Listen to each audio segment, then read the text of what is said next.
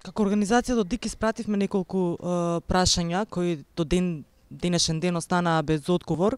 Државната изборна комисија ја прашавме каков ефект очекуваат од кампањата тогаш ја прашавме каков ефект очекуваат од кампањата за јакнење на јавната свест за регистрирање на граѓанките и граѓаните кои се најдоа на листата од 39.502 сумнителни гласачи.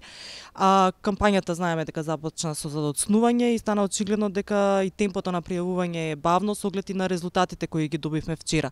А, еден од проблемите кои ние го детектиравме беа дека не беа познати на граѓаните не им беа познати локациите на подрачните единици на Министерството за правда а некои беа и нефункционални според нашите е, пријави.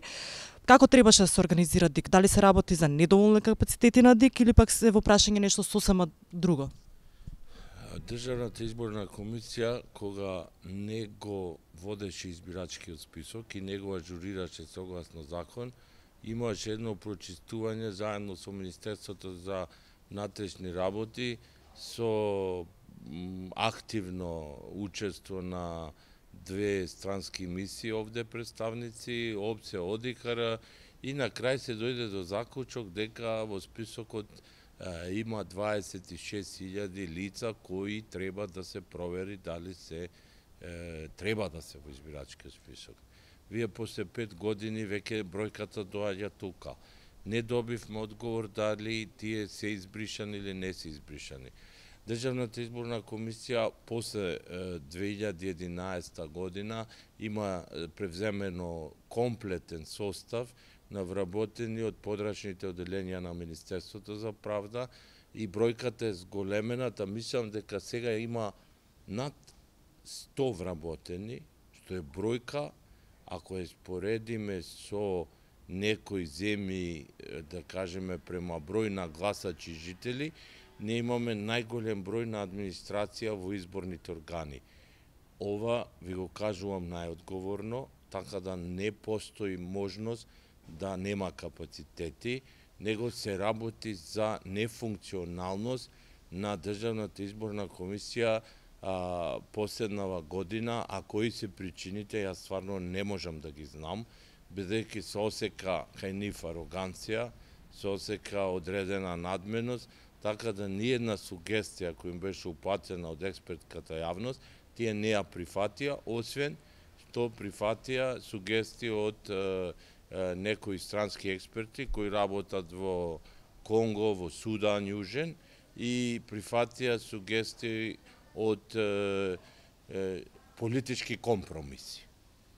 Значи, ако тие сугести, а се работи за луѓе и за бројки, и се работи за заштита на право на глас.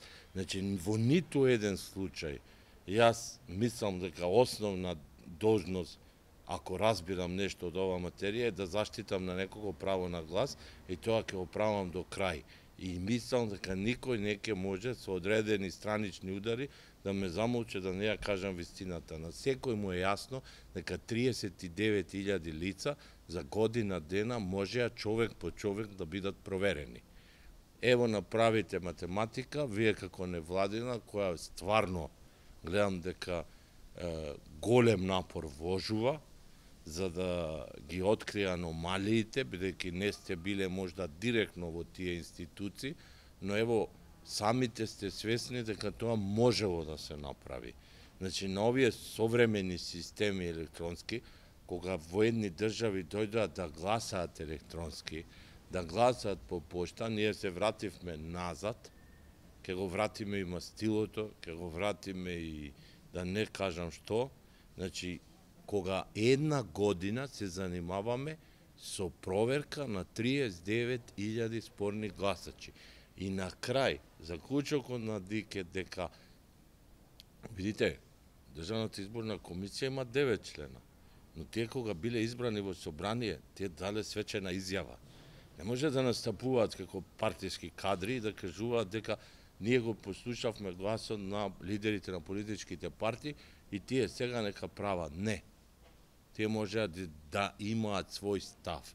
Јас верувам дека никој не ги спречи до сега. Значи, таа организација, од кога се назначени, октомври, кога беше, не знам, прошла година, до сега, ова можеше да биде проверено човек по човек. тоа ви тврдам најодговорно, зависеше од само организацијата која предводат членовите на ДИК, кои се професионални кои се девет. А изборната администрација во секој случај можеше да се стави во функција, бидејќи ги избраја обштинските изборни комисии, ги избраја озбирачките одбори, може да ги употребат, каде се дале толку пари и се трошат, и тие лица ако се укучеа, значи све е во прашање идеја, во прашање организација, менаџирање на тој процес. Јас мислам дека изборите се многу сериозна организациона операција. Не е то техничка операција. Знаеш како некои сакаат да го маловажат, викат, па тоа е техничка операција. Техничка операција не е изборите. Тука се многу елементи. Ево доаѓаме до тоа што ако пример илјада лица од овие кои ги избриша се појават на изборите следни и не се најдат во избирачки список. Ние немаме инструмент да ги запишиме дента на изборите, бидејќи тие нема да се јават можда и на увидот. Значи, во секој случај сметам дека се работи за комплетно нефункционирање и комплетна послушност на сите во Државната изборна комисија. Сметате ли дека со овие сознанија кои ги имаме и овие ставови и факти кои што ги изложивте сега, дека во декември би имале односно какви избори би можеле да имаме и дали Државната изборна комисија има доволно време да промени некои работи во својата работа? Државната изборна комисија може да промени, но а, мислам дека време има но ајде да почнеме до каде се работите да го оставиме избирачкиот список. Значи, за да имаме ние кредибилни, фер, демократски избори, имајќи ги во предвид сите извештаи, обсе одиха забелешки, Државната изборна комисија се фокусира на списокот и тука потврли комплетно ви тврдам. Сега одиме на другите критериуми Ево се прави обид за медиумите, се прави обид да се е, направат некои други. Но Државната изборна комисија, овој состав за се се огласува ненадлежен. А во моментов, комплетно, од сега па до изборите, па и пред ова, Државната изборна комисија беше единствено надлежна да се грижи за законитоста на изборниот процес.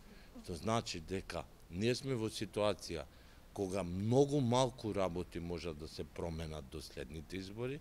Граѓаните на задните изборни циклуси го положија тестот, мирно, достоинствено излегоја на гласање, со одредени инциденти кои ќе се ги решаваат други органи, не се тука кои се надлежни во државата.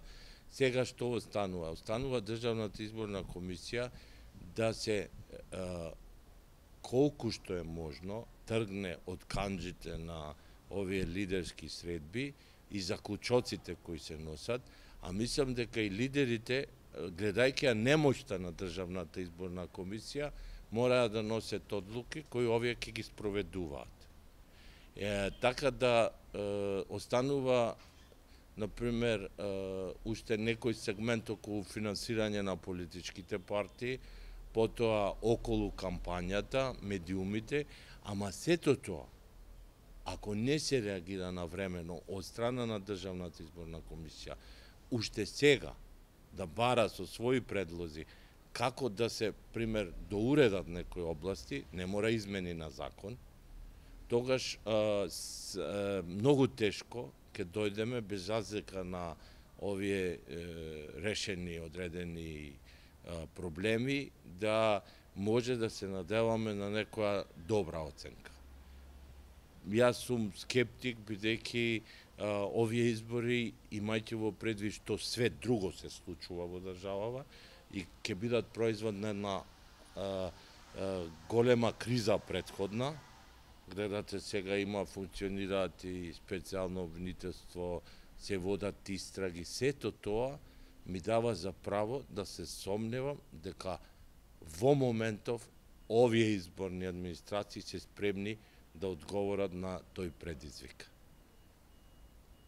Мислам дека во моментов би сакал да ме демонтираат, да ги надминат, но изјавите кои ги даваат се исклучително партиски.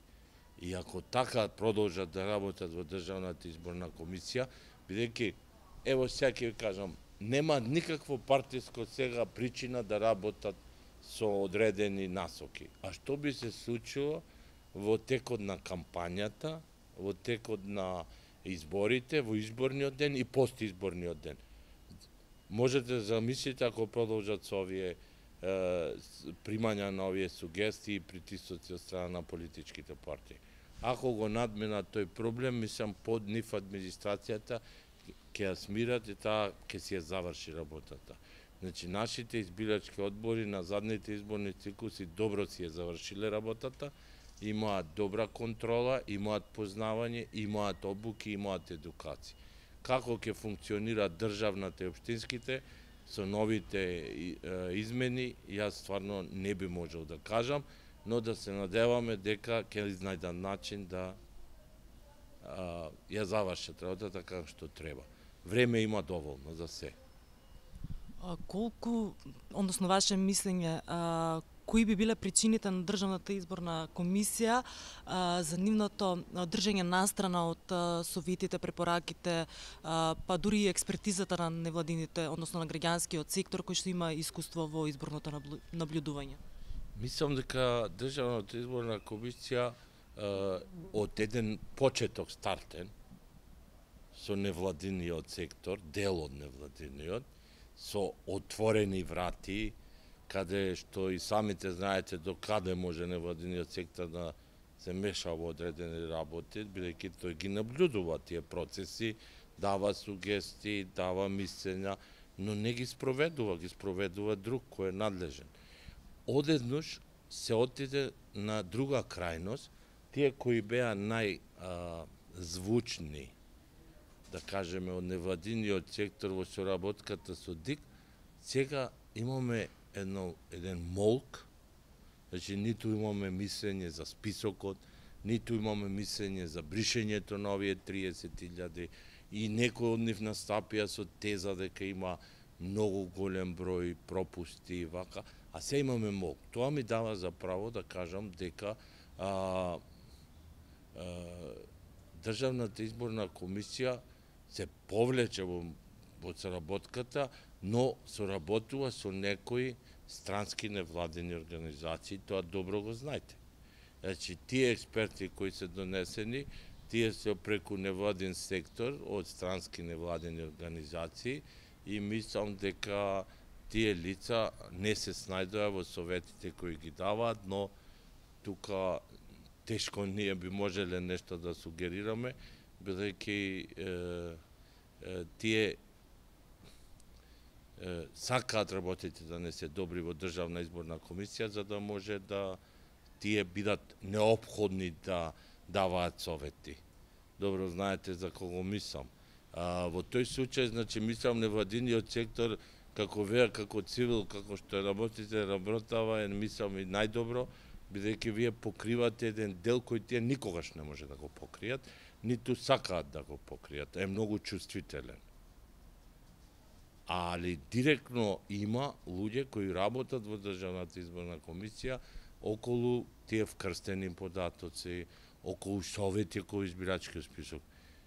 со чест на неколку од нив кои ги познавам, другите немаат врска со овие материи, ниту биле некои експерти од таа област, се бавеле со сосема споредни прашања кои немаат врска со изборниот директен процес.